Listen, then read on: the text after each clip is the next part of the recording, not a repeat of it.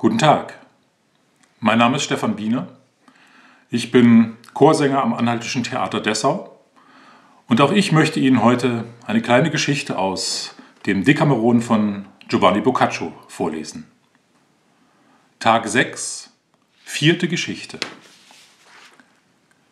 Corrado Gianfiliazzi war stets ein gar freigebiger und gastfreier adeliger Bürger, der ein ritterliches Leben führte und sich stets mit Hunden und Beizvögeln vergnügte.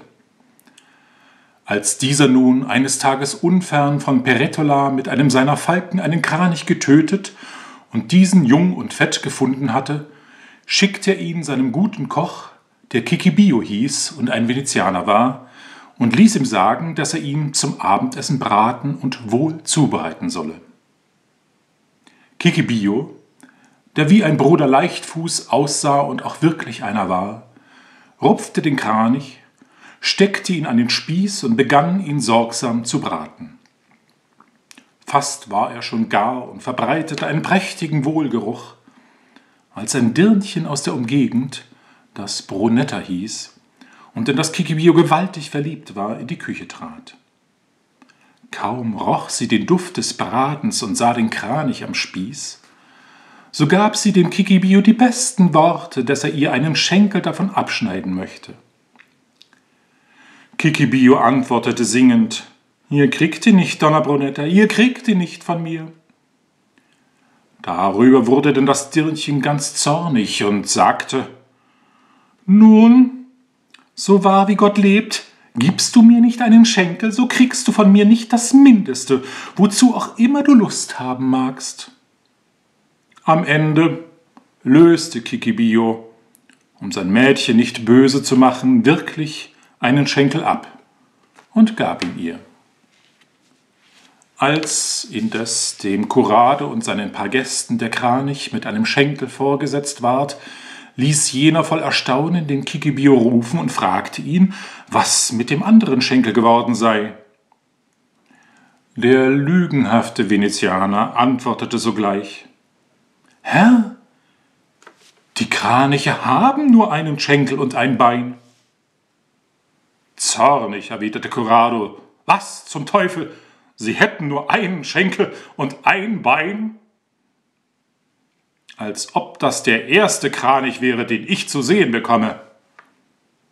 Kikibio aber blieb dabei und sprach, Herr, es ist so, wie ich es euch sage, und beliebt es euch, so werde ich es euch an den Lebendigen zeigen.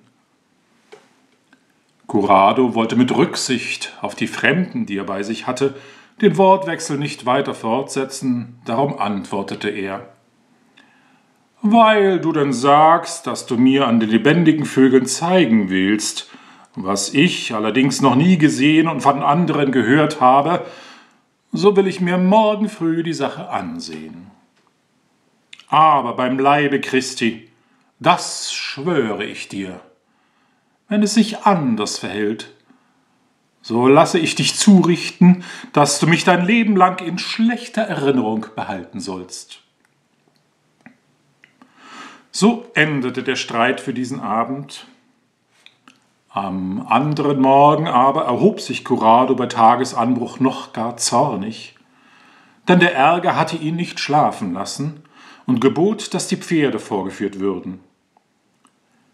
Dann ließ er den Kikibio auf ein Rösslein aufsitzen und ritt mit ihm nach einer Niederung, wo man am Flussufer in der Morgenfrühe Kraniche anzutreffen pflegte. Im Reiten aber sagte er, nun werden wir ja sehen, wer gestern gelogen hat. Ich oder du. Als Kikibio merkte, dass Curados Zorn noch andauerte und er seiner Lügen überführt werden sollte, ritt er in der größten Angst von der Welt hinter Corrado her und wäre gern geflohen, wenn es sich hätte tun lassen.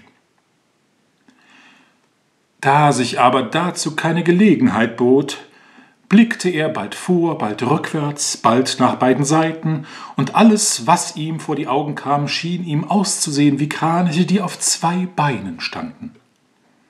Endlich, Als sie schon in die Nähe des Flusses gelangt waren, erblickte er, früher als einer der übrigen, am Ufer wohl ein Dutzend Kraniche, die sämtlich, wie diese Vögel schlafend zu tun pflegen, auf einem Beine standen.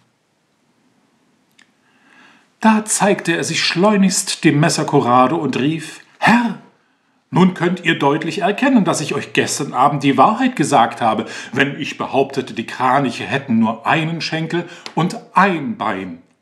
Seht nur die alle, die dort stehen.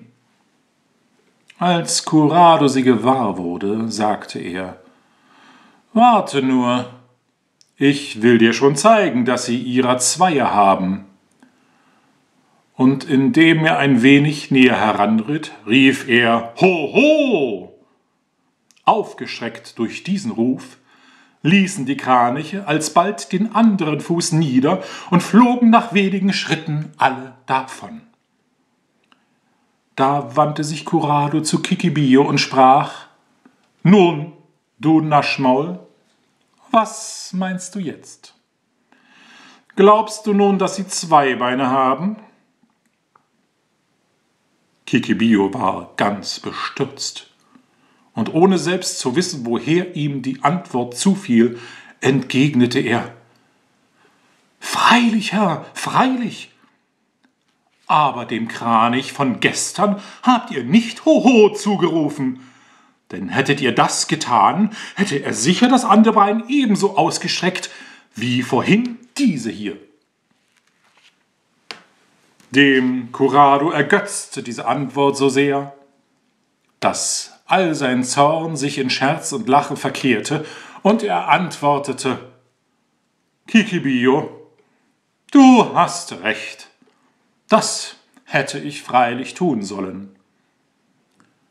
So also entging Kikibio durch eine schnelle und scherzhafte Erwiderung dem Unheil und wendete den Zorn des Herrn von sich ab.